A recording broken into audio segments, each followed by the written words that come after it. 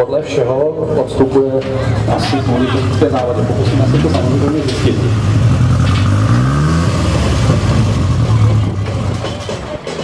Škoda 130 Miroslava Garačky je zrovna na startu, po něm to bude Honda Civic Martina Kolekaje, Renault Clio Sport Jindřich Mitsubishi Lancer Evo 8 Michala Jančíka a potom Mitsubishi Lancer Evo 10 Petra V. mladšího, který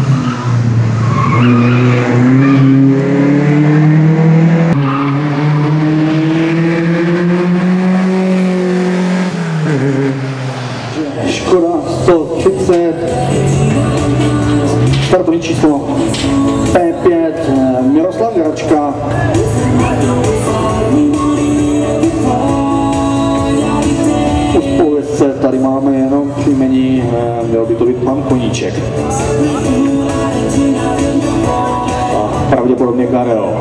Od eh, hlavního pořadatele Petra Bujáčka a od jeho syna Martina, který tady